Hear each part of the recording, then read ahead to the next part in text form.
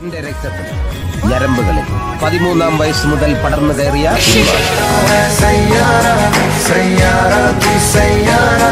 സിതാരോ K